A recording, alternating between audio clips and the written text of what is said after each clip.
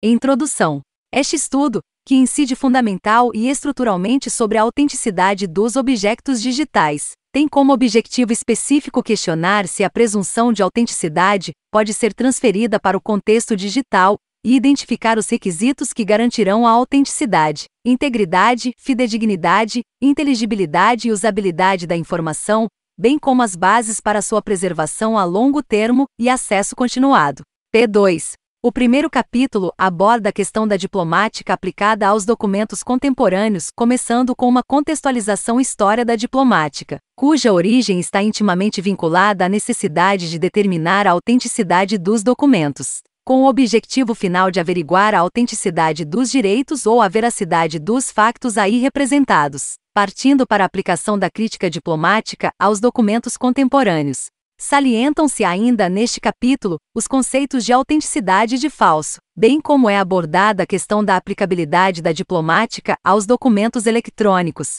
P3. O segundo capítulo foca o conceito de documento no contexto da diplomática, passando pela perspectiva de Otler, principal mentor da noção de documentação que conduziu à emergência da ciência da informação, até a definição de documento digital, também comumente designado na literatura por documento eletrônico e objeto digital, com base na crítica da ingenuidade, da verdade ou falsidade dos actos documentais, com origem na diplomática, e considerando o facto de no contexto digital se produzirem cópias numa escala sem precedentes, é focada a questão do original e da cópia em ambiente digital. P3. O terceiro capítulo é dedicado à autenticidade em ambiente digital, são definidos os conceitos de autenticidade, genuinidade, fidedignidade e integridade e são analisados os procedimentos para identificação e documentos autênticos. Por outro lado, é abordada a questão dos requisitos para a concepção e implementação de sistemas de informação de forma a assegurar que todos os documentos de arquivo com valor secundário, produzidos por um sistema, sejam preservados como autênticos fidedignos e utilizáveis se focada a importância da intervenção cada vez mais precoce dos profissionais de arquivo para influenciar as estratégias de gestão e de preservação de documentos de arquivo. Por último, são abordadas as questões relacionadas com a admissibilidade legal e o valor probatórios dos documentos eletrônicos. P3.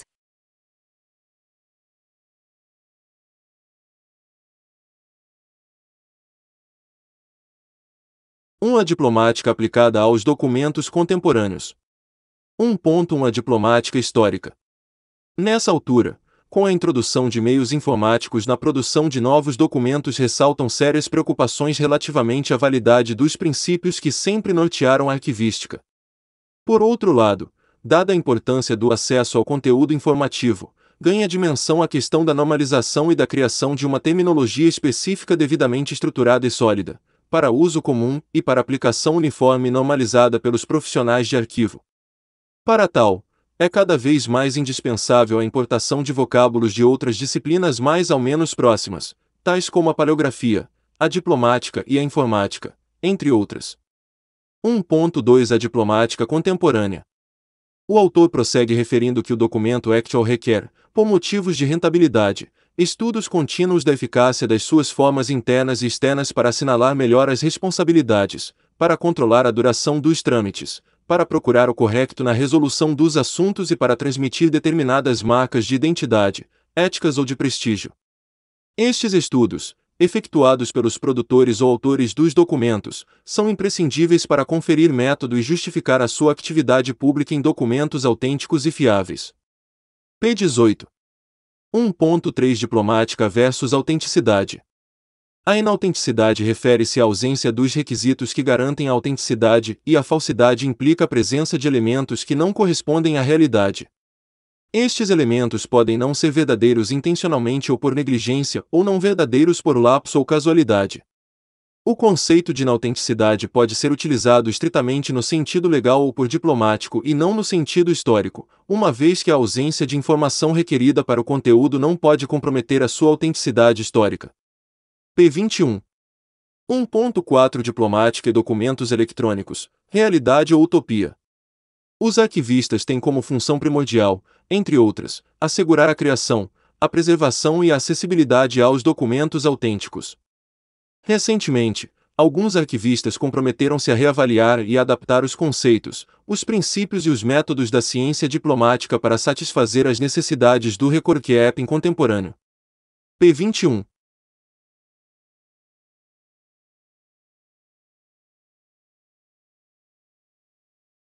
2. Conceito de documento. 2.1 Aproximação diplomática ao conceito de documento. O mesmo autor menciona, ainda, que ao falar de documento diplomático, deve fazer-se a distinção entre documento diplomático lato, alude a qualquer escrito de caráter legal, histórico e administrativo existente nos arquivos que mantenha uma relação com os documentos propriamente ditos, tais como minutas, requerimentos, informações, e documento diplomático restrito, são os testemunhos escritos sobre um facto de natureza jurídica, realizado com base no cumprimento de determinadas formalidades, variáveis segundo a pessoa, o local, o tempo e a matéria, que se destinam a conferir ao testemunho autoridade e fé, e por conseguinte caráter probatório. P30. 2.2 Da perspectiva de Otle, a atualidade. Pouotle e Suzanne Briette sugerem a possibilidade de contemplar o documento como um objeto tendo como uma única finalidade o caráter informativo, embora restringam essa finalidade informativa à reconstrução ou prova de um fenômeno físico ou intelectual. P33. 2.3 Documento digital.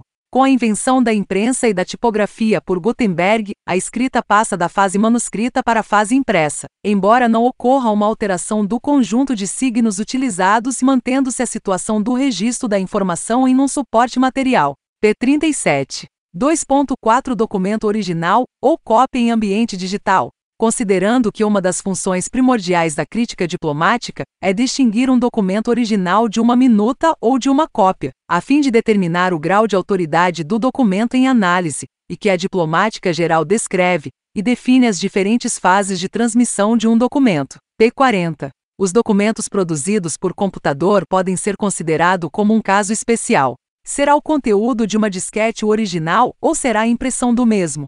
De acordo com os princípios da diplomática, poderão ambos ser considerados como originais 22, se um documento legível por máquina, para além de ser o primeiro a ter sido produzido, também estiver completo, sem defeitos e capaz de produzir as consequências procuradas pelo seu autor, o registro será o original e o papel impresso será a cópia. P41.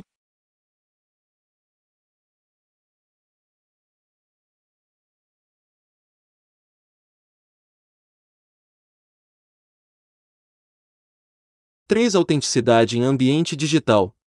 3.1 As questões da autenticidade. Com a crescente implementação das novas tecnologias nas organizações tem aumentado a preocupação dos profissionais da informação, designadamente daqueles que exercem funções em arquivos, sobre a gestão e a preservação de documentos de arquivo eletrônicos significativos e viáveis para acesso ao longo do tempo. P 45 3.2 Autenticidade na gestão e preservação de documentos eletrônicos. O crescente volume de documentos de arquivo eletrônicos, aliado à crescente complexidade tecnológica e aos desafios de natureza organizacional, tem aumentado a preocupação sobre a sua gestão e preservação a longo prazo. P58 3.2 O valor probatório e a admissibilidade legal dos documentos eletrônicos. Conforme refere a ANP, 4438-2, 2005, os responsáveis pela gestão de documentos de arquivo devem estar cientes da possibilidade de terem de enfrentar desafios legais quando os documentos forem apresentados como prova em tribunal. Se a integridade ou autenticidade de um documento for posta em causa, alegando-se falsificação, incompetência, funcionalidades inadequadas ou deficiência do sistema, o tribunal pode não reconhecer ou, no mínimo, reduzir a capacidade ou valor probatório do documento, o que resulta em prejuízo do caso. Assim, esses mesmos responsáveis necessitam de ser capazes de, rapidamente, provar que a organização procedeu em conformidade com a legislação, políticas e procedimentos existentes, ao longo de todo o período de vigência do sistema. Deve ainda ser possível demonstrar que o sistema sempre operou como pretendido, em concordância com as práticas normais da organização. P72. Conclusão: este estudo pretende demonstrar que a tradicional relação entre a diplomática e a arquivística, entendida como disciplina aplicada da área da ciência da informação, é indispensável para a concepção de sistemas de arquivo e informação que compreendem todo o ciclo de vida da informação, capazes de servir às necessidades de negócios e prestação de contas de uma entidade produtora de modo a produzirem e manterem documentos autênticos enquanto precisarem deles para ação ou referência. P81. Nesta conformidade, e com o objetivo de garantir a autenticidade, fiabilidade, integridade e inteligibilidade da informação, bem como o acesso continuado a longo prazo, depreende-se que é fundamental para todo o trabalho com documentos de arquivo eletrônicos o domínio dos princípios e das técnicas arquivísticas para a gestão e preservação de documentos. Os arquivistas devem ser capazes não só de conhecer os princípios e as práticas fundamentais de arquivo, mas também de compreender que estes mudaram e que se devem reformular e ou ampliar para fazerem face aos documentos de arquivo eletrônicos. P82 a autenticidade é garantida através da adopção de métodos que asseguram que o documento não é manipulado, alterado ou, melhor dizendo, falsificado após a sua criação, nem durante a transmissão, manipulação e preservação, dentro do sistema de gestão de informação e do sistema de preservação documental. Isto significa que a garantia da autenticidade dos documentos é requerida em todo o ciclo de vida dos mesmos, desde a produção até ao destino final preservação ou eliminação. Assim, para garantir a autenticidade dos documentos em ambientes digitais é necessário proceder à identificação dos requisitos para a criação, manutenção e preservação de documentos eletrônicos autêntico. P83.